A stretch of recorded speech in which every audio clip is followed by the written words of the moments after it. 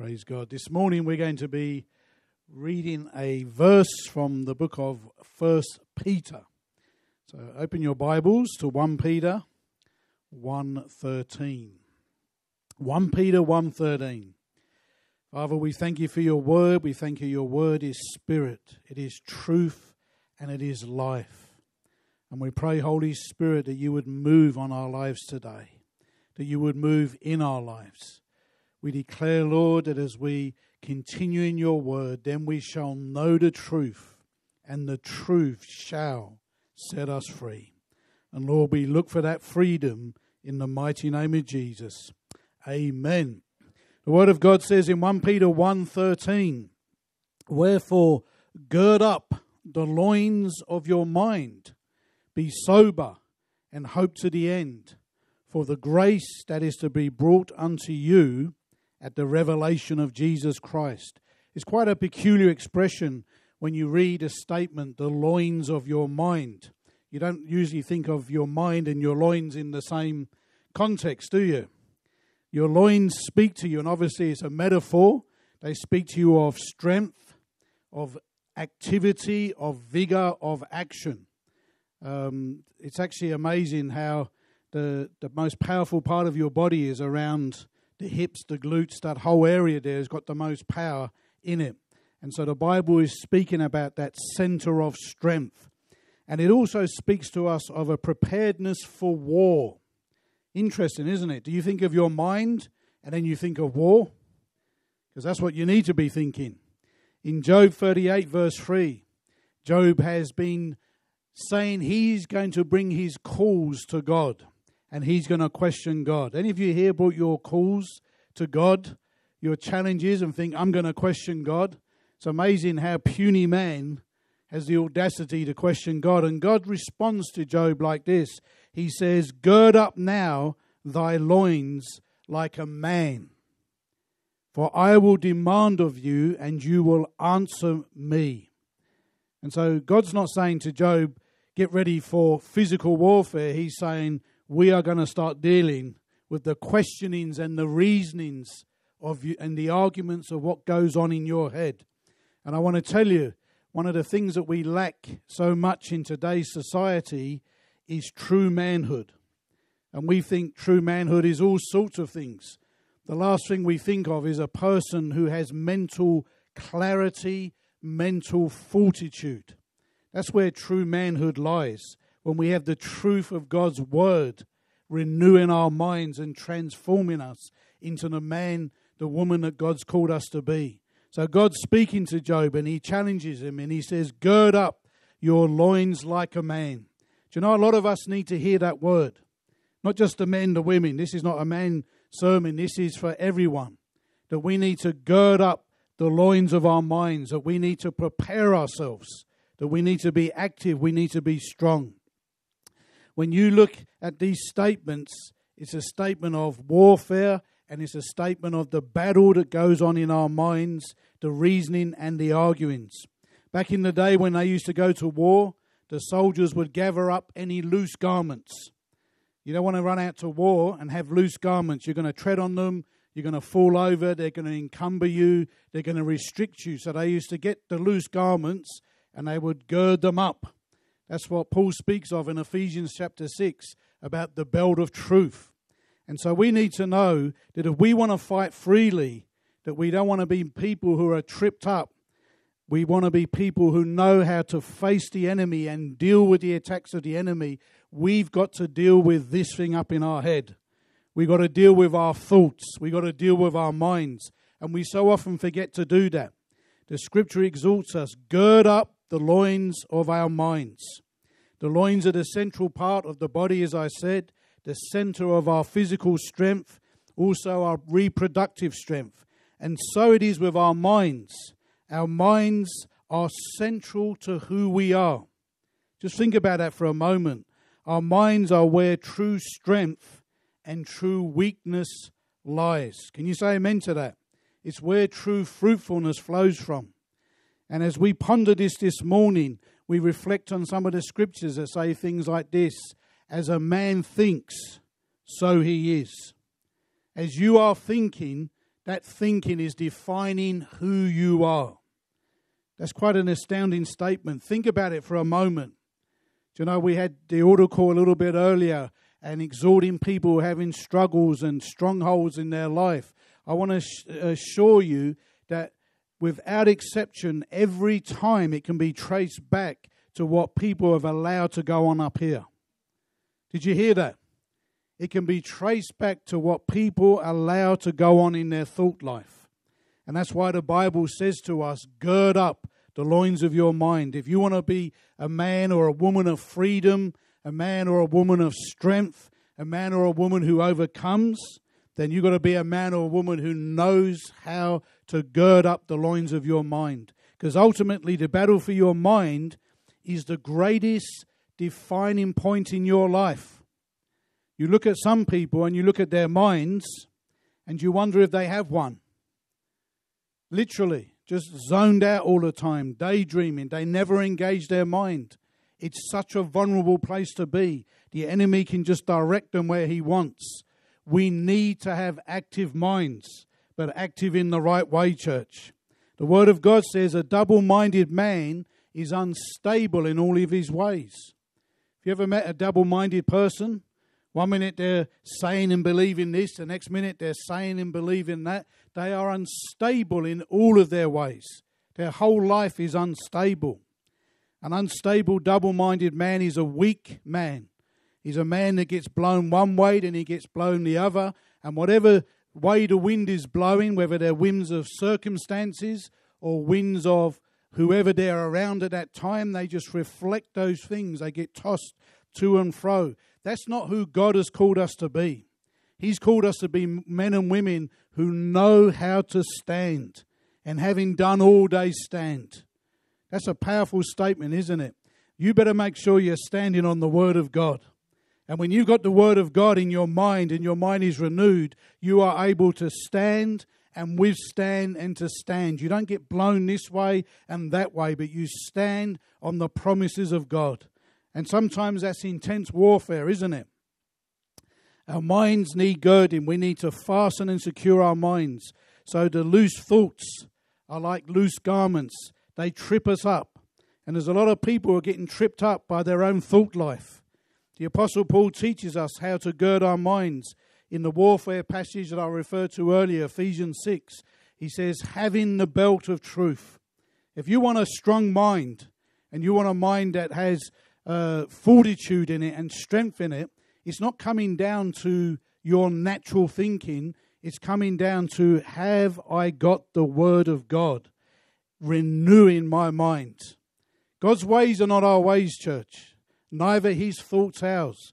As the heavens are above the earth, so are his ways and thoughts above ours. So if you want to have a mind that's renewed, you're not going to get it by being clever. You're not going to get it by saying, I'm strong, I'm going to dig my heels in, I'm going to stand, I'm going to resist. No, no, no. It comes by having the Word of God living and renewing your mind, living in your mind and renewing your mind. The Word of God speaks about the spirit of the mind, the spirit of the mind, and we need God's Word for that. You know, we need to be aware that we mustn't trust our own thoughts. How many of you here trust your own thoughts? Do you know, it's quite interesting when we hear things in life that challenge us. When people hear the gospel or they hear a teaching at church, they're like, I don't want to do that. You're not going to control me. It's quite an interesting thought. That's why children uh, tend to rebel against their parents because their parents are saying, Don't do this. And it's like, Well, I want to do this. You think to yourself that that's independence. Guess what? It's not. It's not independence. It's the fact that you've allowed your mind to be manipulated and governed by Satan, the world, the lust of the flesh, the lust of the eyes, the pride of life. There's no such thing as a truly independent mind. Every single one of us have had life experiences and heard things, and it's that which goes into the mind. It's whether we are going to say, No, that is false, that is lies, that is deceptions. I'm going to listen to the Word of God. I'm going to allow His truth to define who I am as a person not the lies of the enemy. Satan drops seeds into our mind. Do you know, I used to often wonder when I was growing up, can the devil really do that? And how does he do it? How does he get into someone's mind? And I remember that time when I looked at that scripture when Peter was opposing the will of God for Jesus, and Jesus turned around and he said, Get thee behind me, Satan. What Jesus did in that moment is what you and I need so much in our lives discernment as to the source of the thought. You think it's your thought. And because it's my thought, I'm going to do what I think. So many times it's the enemy putting a thought in our mind, and we're protecting that thought, we're owning it, and we're literally saying, I'm going to do what the devil wants. But he deceives us into thinking it's what we want. We must understand that the enemy can sow things into our mind. How do we protect ourselves against that? When Satan tempted Jesus, Satan actually quoted slash misquoted, misapplied scripture. He was actually using scripture to try and trip Jesus up. But Jesus had the spirit of wisdom, the spirit of discernment, and he knows what the word of God truly means, and he was able to discern and resist it. That's what you and I need in our lives. We need discernment, we need wisdom as to what goes on up in our heads. Can you say amen to that? You're not meant to just sit there listening to your thoughts. How many of you have ever had a sleepless night as your thoughts run wild? Yes? How sad is that? Jonathan's putting his hand up. a few times. The enemy has a playtime with our minds. And he'll get in there. And I guarantee you, every time you've got a sleepless night because of your thoughts going, it's not God speaking to you. Because when God speaks to you, it has a different result. It doesn't have sleeplessness and restlessness.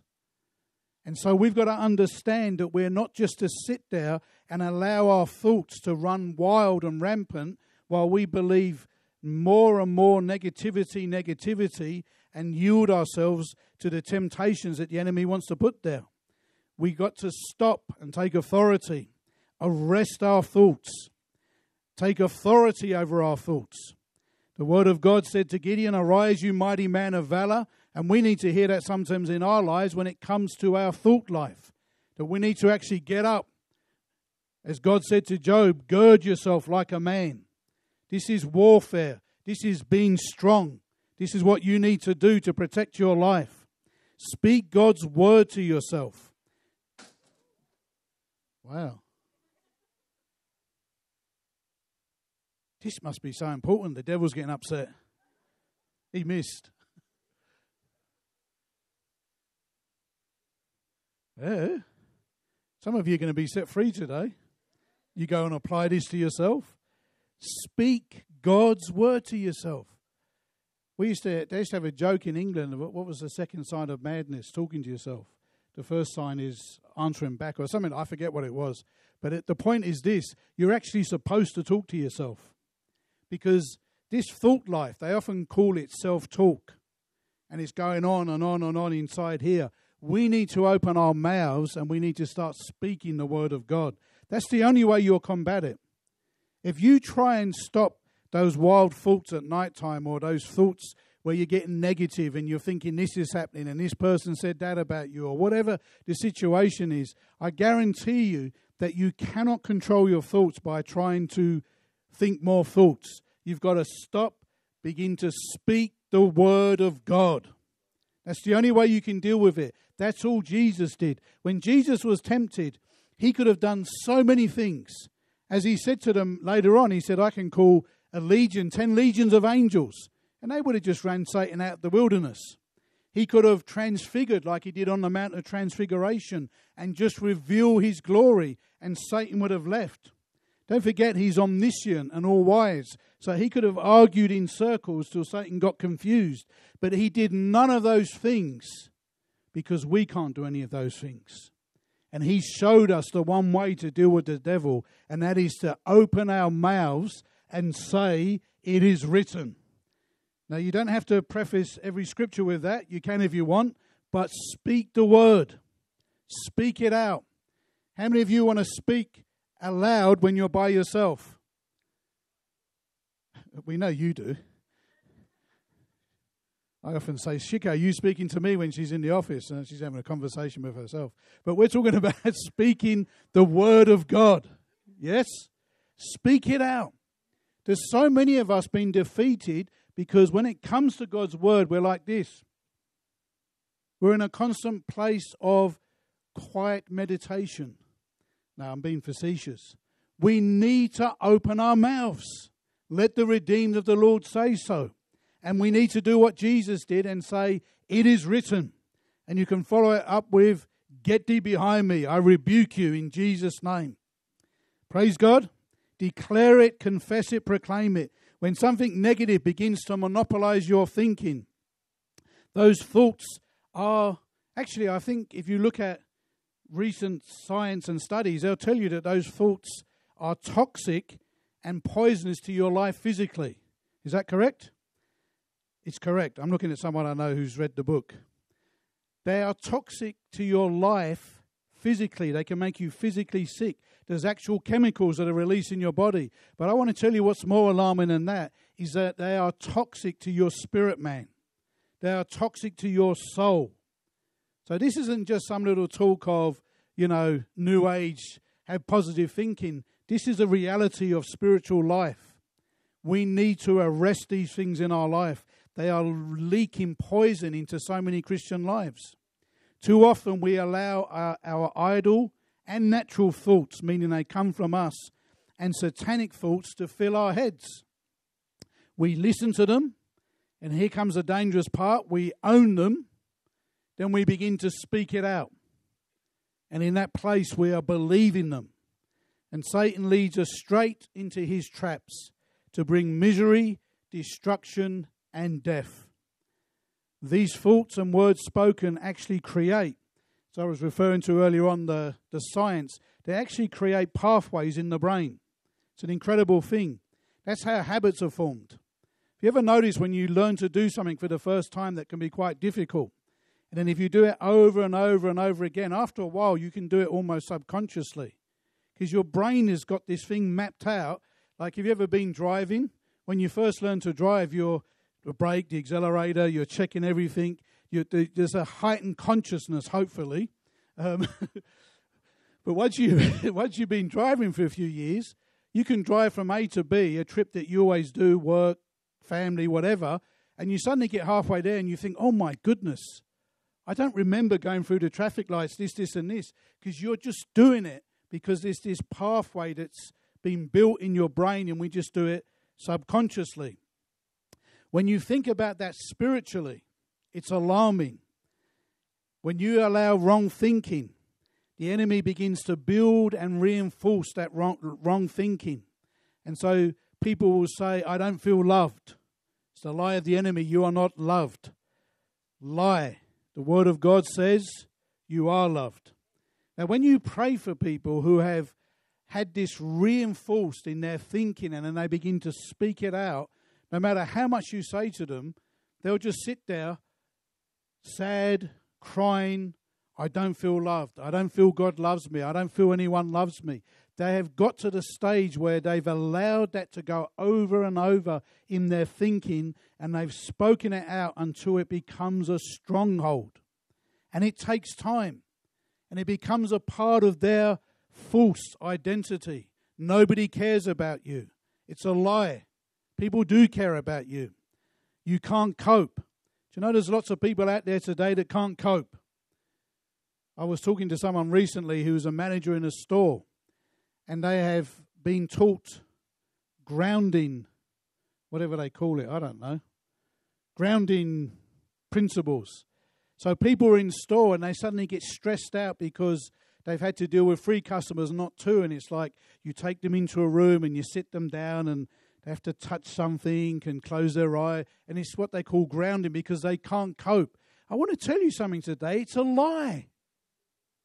Seriously, it's a lie. You can cope. But if you keep being told you can't cope, you can't cope, and you go to the doctor and you say, when I do this, his anxiety builds up, and I feel they'll go give you medication, go home and say, you suffer from anxiety, you need medication for the rest of your life. Guess what that's doing? It's reinforcing that pathway in the brain. You can't cope. You're anxious. You're this. You're that. It's lies. You're a child of God. You can cope. Believe it. You can. Why do we take these things on? We've got to start standing up. That's not to say there's not a challenge there. That's not to say there's not a battle. But the first thing we've got to start doing is saying, I can do all things through Christ who strengthens me with might in the inner man. Hallelujah. I don't get from that, I can't cope. Now, who am I going to believe, the doctor or God? Preach it. Believe God. The stress, the worry, the anxiety, the panic, it's all built on lies. And let me tell you something else. We're seeing more and more and more of it. Do you know why? Because we keep talking about it more and more and more, and we have medication for it. Billions of dollars of medication. There's no ulterior motive there, I can assure you. Church, I'm not downplaying the fact that people have struggles in their life, but what I'm saying is this we have been reinforcing so often lies and deception and negative thinking. If you're born of God, the Word of God says, Whom the Son sets free is free indeed. That's the truth. You can either begin to speak that until that builds a pathway in your mind and it gets into your spirit, man, and sets you free, or you can say, The doctor said, I have, and I tell you what, there's new names every day. So I've got good news for you today, church. You are loved. And if you ever doubt that, this is what you're doubting that your heavenly Father, who sacrificed his Son's life for you, and Jesus, who gave his life for you, and in the face of that, we believe a lie that God doesn't love us. When God says, I have loved you with an everlasting love, and we can believe a lie that says, God. Here's the thing is God a liar? Was the demonstration of him sacrificing his son not enough to prove his love? Or maybe it's the fact that you don't feel love. That's the lie and the deception that needs to be confronted. But it's not going to come down until you start seeing it for what it is. Just like Jesus, he didn't wait for Peter to go on and on. He immediately recognized the source. That's our biggest problem. We don't recognize things quick enough. That's a lie of the devil. I'm going to rebuke it at its source. It's not going to get a root in my mind and then stuff my whole life up. Rebuke it at the source. Amen. And you say, How do I do that? Just get in the Word of God. Spend time with God. Your mind will get renewed and sharp. There'll be clarity. God hasn't given you a spirit of fear, but of love, power, and a sound. That means a disciplined mind. Amen. Penny told me years ago when children are struggling at school, she goes, The best way to get their minds good so they can learn is get them to memorize scripture. It's truth. All of a sudden, someone who's struggling with their learning get into the Word of God and the Word of God being memorized, and suddenly their whole learning starts to go like this because the Word of God is living. Hallelujah. You ever believe you're not worth it? It's a lie. You are worth it. Just look at the price that Jesus paid for you. Look at the fact that you're loved, that you're chosen.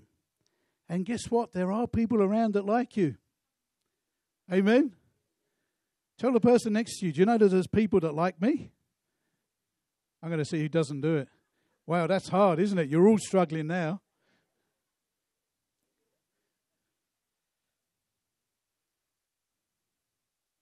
Church, understand that these faults and countless others have taken root so often deep deep down inside of us. It could have been an event in our life, even a traumatic one. It may have been repeated actions by others. Oftentimes, there's parent issues that give rise to the negative and destructive thoughts. If you go through a traumatic time in your life, the devil doesn't go, Oh, they've really been through a hard time. I'm just going to leave them alone until they're a bit stronger, then I'll have another go. He's wicked. He's evil. The more vulnerable you are, the more he will pour out his evil malice on you, and he will get into your faults. And this bad thing happened to you, or your parents are treating you like this. And this is so often how these faults take root in us. And over the years, we believe it. Over the years, we speak it out. It's so, so deep and so, so many years in so many lives, even decades. It becomes what the Bible calls a stronghold.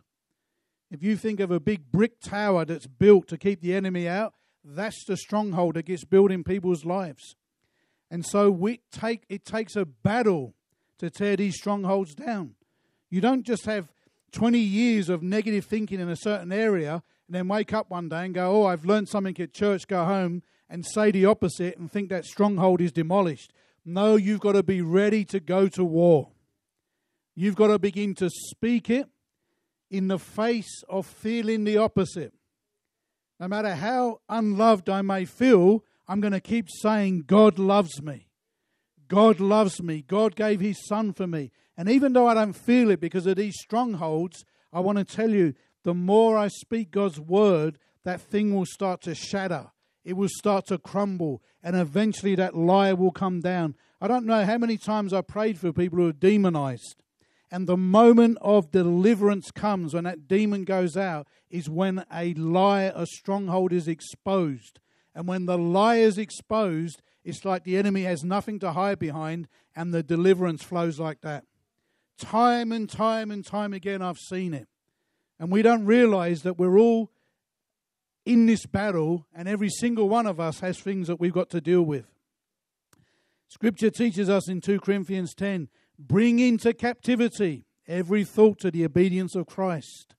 That is true strength, that is true fortitude, character, manhood, womanhood. Learn to govern and gird up the loins of your mind. We need to take hold of ourselves. How good is that? How many of you here want to take hold of other people? That was too big of a, a nod. We want to d- deal with other people, don't we? But you know who we should be dealing with? We should be taking hold of ourselves. Seriously. Take yourself in hand. Start. How many of you people want to preach? I don't know why people want to do it. It's like if the call of God's on your life, then you better preach. But if it's not, stay stay clear. Trust me. Amen. But there's one preaching you should do, and that's to yourself. Preach some good sermons to yourself.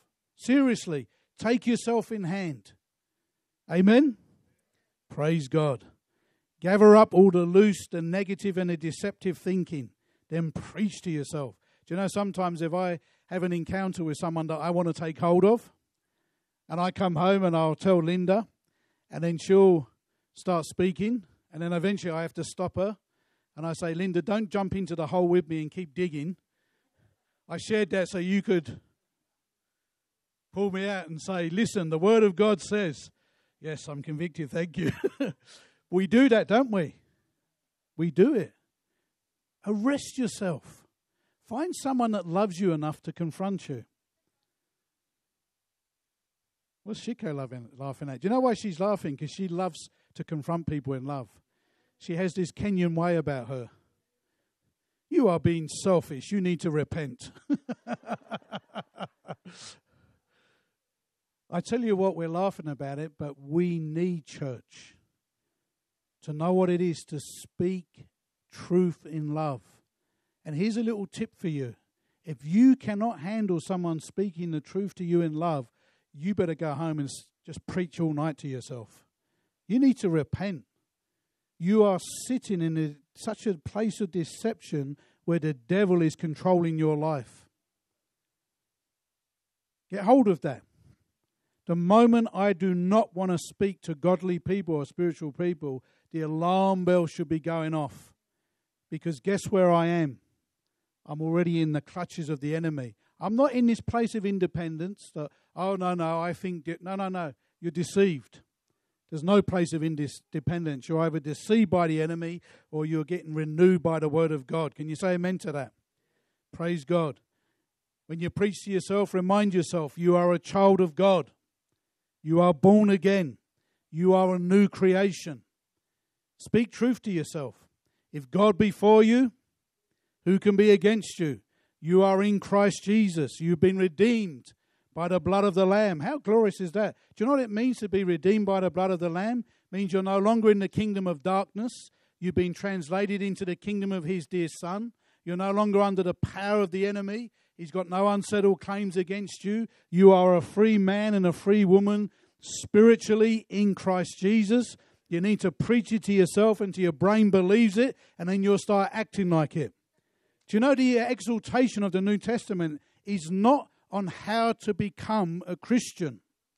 Most of the exaltation of the New Testament is like this. We've got little children in the, in the building today. You see them like this. And the younger they are, you give them a bottle, change their nappy. When they get to 10, you don't want to be doing that.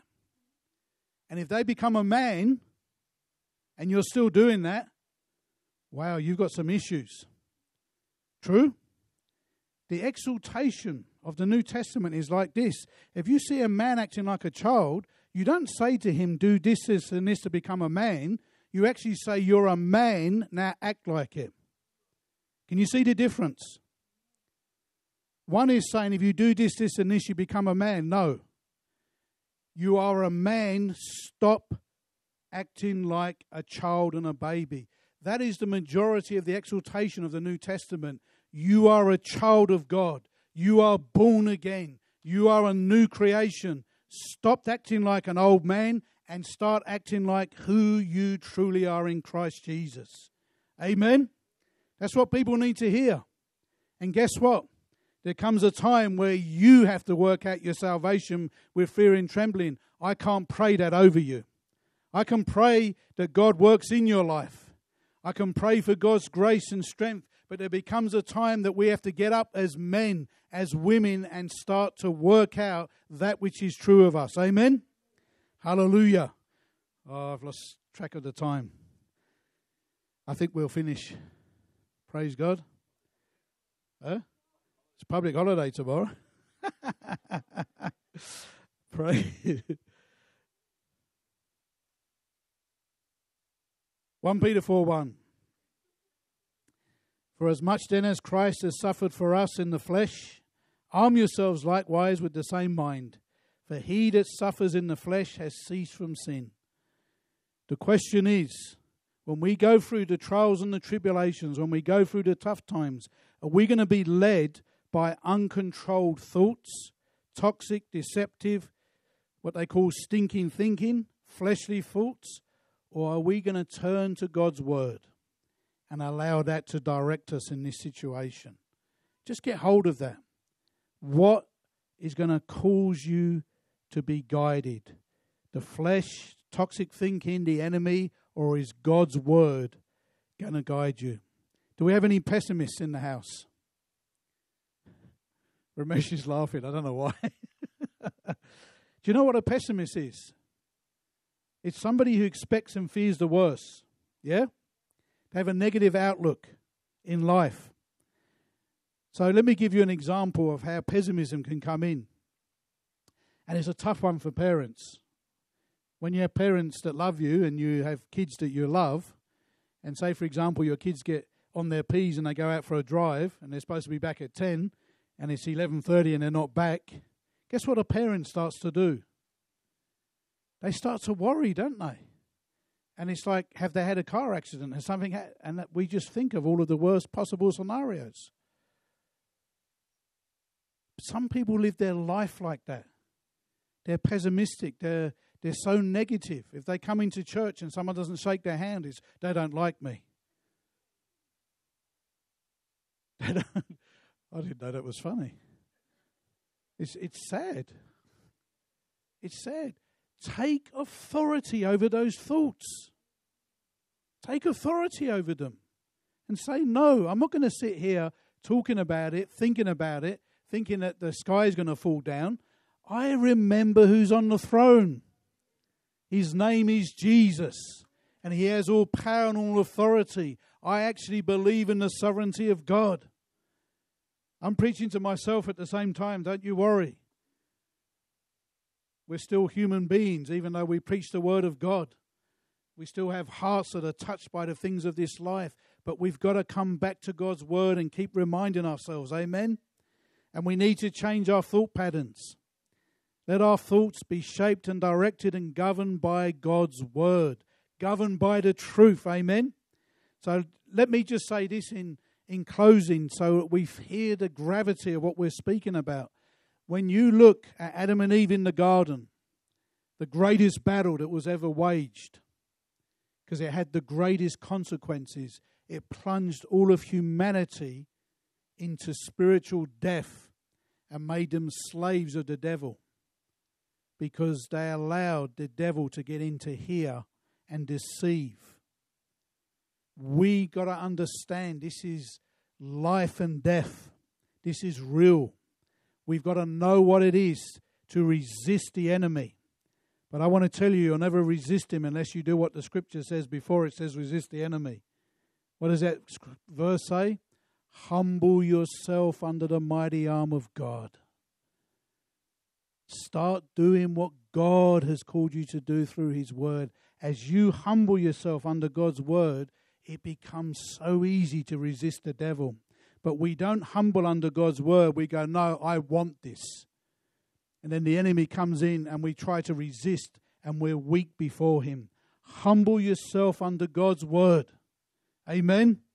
Get hold of His Word. This is what it says. I'm going to submit to it and you watch, you'll be able to resist the enemy. Praise God.